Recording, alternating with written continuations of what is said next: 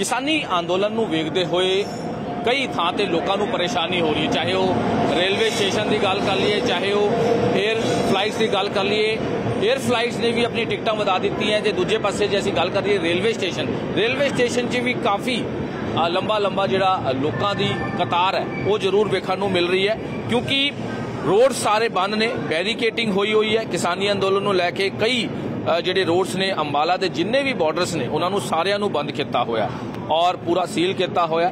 ਇਸ ਕਰਕੇ ਕਈ ਜਿਹੜੇ ਰੋਡਸ ਬਲੌਕ ਨੇ, ਲੋਕ ਹੁਣ ਰੇਲਵੇਜ਼ ਜਾਂ ਫਿਰ ਜਿਹੜਾ ਫਲਾਈਟਸ ਜਿਹੜੀ ਹੈ, ਉਥੇ ਉਹਦੇ ਵਿੱਚ ਟਿਕਟਸ ਬੁੱਕ ਕਰਾ ਕੇ ਉਹਦੇ ਵਿੱਚ ਜਾਣਾ ਹੁਣ ਕਰ ਰਹੇ। ਕਿਉਂਕਿ ਤਸਵੀਰਾਂ ਤੁਸੀਂ ਵੇਖ ਰਹੇ ਹੋ, ਚੰਡੀਗੜ੍ਹ ਰੇਲਵੇ ਸਟੇਸ਼ਨ ਦੀ ਇਹ ਤਸਵੀਰ ਹੈ, ਜਿੱਥੇ ਕਾਫੀ ਜ਼ਿਆਦਾ ਰਸ਼ ਦੇਖਣ ਨੂੰ ਮਿਲ ਰਿਹਾ। ਲੋਕ ਜਿਹੜੇ ਦਿੱਲੀ ਤੋਂ ਆ ਰਹੇ ਨੇ ਜਾਂ ਦਿੱਲੀ ਜਿਹਨੇ ਜਾਣਾ ਉਹ ਸਾਰੇ, ਕਿਉਂਕਿ ਜੇ ਆਪਾਂ ਗੱਲ ਕਰੀਏ ਹਵਾਈ ਜਹਾਜ਼ ਦੇ ਟਿਕਟ ਵੀ 4 ਤੋਂ 5 ਗੁਣਾ ਮਹਿੰਗੇ ਹੋ ਚੁੱਕੇ ਨੇ। ਦੂਜੇ ਪਾਸੇ ਜੇ ਰੇਲਵੇ ਸਟੇਸ਼ਨ ਦੀ ਗੱਲ ਕਰ ਲਈਏ, ਜਨਰਲ ਟਿਕਟ ਕਾਊਂਟਰ ਤੇ ਰਿਜ਼ਰਵੇਸ਼ਨ ਜਿਹੜਾ ਕਾਊਂਟਰ ਹੈ, ਉਹਦੇ ਵਿੱਚ ਵੀ ਟਿਕਟਾਂ ਦੀ ਮਾਰੋ ਮਾਰ ਪੈ ਰਹੀ ਹੈ। ਜਿਹੜੇ ਪੈਸੇਂਜਰ ਨੇ ਉਹਨਾਂ ਦੀ ਲੰਬੀ ਲੰਬੀ ਲਾਈਨਾਂ ਲੱਗੀ ਹੋਈ ਹੈ।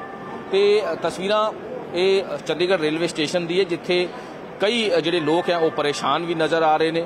ਜੇ ਅਸੀਂ ਗੱਲ ਕਰ ਲਈਏ ਚੰਡੀਗੜ੍ਹ ਨਈ ਦਿੱਲੀ ਸ- ਜਿਹੜੀ ਸ਼ਤਾਬਦੀ ਹੈ, ਇਹ ਪਹੁੰਚੀ ਹੋਈ ਹੈ। ਇਹਦੇ ਵਿੱਚ ਵੀ ਕਾਫੀ ਜਿਹੜੀ ਲੰਬੀ ਕਤਾਰਾਂ ਦੇਖਣ ਨੂੰ ਮਿਲ ਰਹੀ ਹੈ। ਕਿਉਂਕਿ ਹੁਣ ਗੱਡੀਆਂ 'ਚ ਟਰੈਵਲ ਲੋਕ ਨਹੀਂ ਕਰ ਸਕਦੇ, ਜਿਸ ਕਰਕੇ ਹੁਣ ਰੇਲਵੇ ਸਟੇਸ਼ਨ ਜਾਂ ਫਿਰ 에ਅਰ ਫਲਾਈਟ ਜਿਹੜੀ ਹੈ, ਉਹ ਹੁਣ ਲੋਕ ਪ੍ਰੈਫਰ ਕਰ ਰਹੇ ਹਨ ਕਿਉਂਕਿ ਪੂਰੇ ਰੋਡਸ ਬੰਦ ਨੇ। ਹਰਿਆਣਾ ਦੇ ਸਾਰੇ ਬਾਰਡਰਸ ਕਲੋਜ਼ ਨੇ।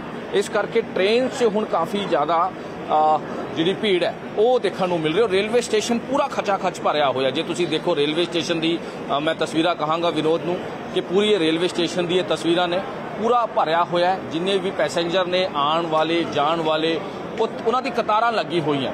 ਤੇ ਤਸਵੀਰਾਂ ਲਗਾਤਾਰ ਤੁਸੀਂ ਵੇਖ ਰਹੇ ਹੋ ਕਿਉਂਕਿ ਵੱਖ-ਵੱਖ ਅਸੀਂ ਗੱਲ ਕਰ ਲਈਏ, ਰੇਲਵੇ ਸਟੇਸ਼ਨ ਦੀ ਗੱਲ ਕਰ ਲਈਏ ਜੇ ਜਿਹੜੇ ਇੰਟਰਨੈਸ਼ਨਲ 에ਅਰਪੋਰਟ ਹੈ, ਉੱਥੇ ਵੀ 9 ਫਲਾਈਟਸ ਚੱਲਦੀਆਂ ਚੰਡੀਗੜ੍ਹ ਤੋਂ ਦਿੱਲੀ।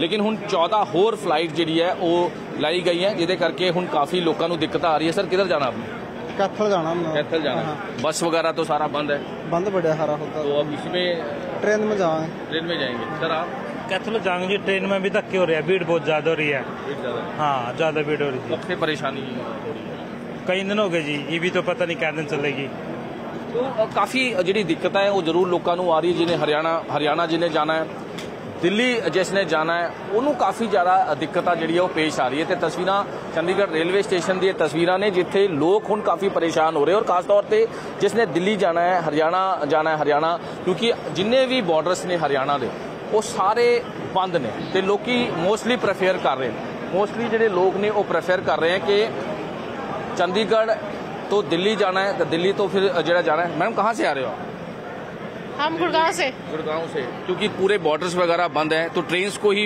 जो है वो कर रहे हैं क्योंकि सर बॉर्डर्स वगैरह सारे बंद है हरियाणा के तो ट्रेन वगैरह में ही सफ़र करना कर नहीं ट्रेन तो सही चल रहा है। हाँ ट्रेन तो चल रहा है। ट्रेन चल रहा है ट्रेन का ही सफ़र मतलब हाँ, हाँ, जी, ठीक है। ट्रेन जो क्योंकि काफ़ी ज़्यादा चल रही है और उसको ਜਿਹੜਾ ਕਿਉਂਕਿ ਲੋਕ ਜਿਹੜੇ ਦਿੱਲੀ ਤੋਂ ਆ ਰਹੇ ਗੁੜਗਾਵਾਂ ਤੋਂ ਆ ਰਹੇ ਹਨ ਔਰ ਦਿੱਕਤਾਂ ਲੋਕਾਂ ਨੂੰ ਬਹੁਤ ਜ਼ਿਆਦਾ ਹੋ ਰਹੀ ਹੈ ਕਿਉਂਕਿ ਬਾਏ ਰੋਡ ਕੋਈ ਵੀ ਨਹੀਂ ਜਾ ਸਕਦਾ ਪੱਕੀ ਸਿਮੈਂਟਡ ਜਿਹੜੀ ਪੁਲਿਸ ਨੇ ਉਹ ਪੂਰੀ ਬੈਰੀਕੇਟਿੰਗ ਕੀਤੀ ਹੋਈ ਹੈ ਇਸ ਕਰਕੇ ਬੱਸਿਸ ਤੇ ਗੱਡੀਆਂ ਨਹੀਂ ਜਾ ਰਹੀਆਂ ਤੇ ਰੇਲਵੇ ਸਟੇਸ਼ਨ ਤੇ 에ਅਰ ਫਲਾਈਟਸ ਜਿਹੜੀ ਹੈਗੀ ਹੈ ਉਹਦੇ ਵਿੱਚ ਲੋਕ ਪ੍ਰੈਫਰ ਕਰ ਰਹੇ ਹਨ ਸਰ कहाँ जाना है अम्बाला जाना है हम लोगों ने। अच्छा क्योंकि हाँ पूरे रोड्स तो बंद हैं सर। तो लेकिन अब वेट कर रहे हैं। ट्रेनें भी लेट हो रही हैं बहुत ज़्यादा। वेट कर रहे हैं।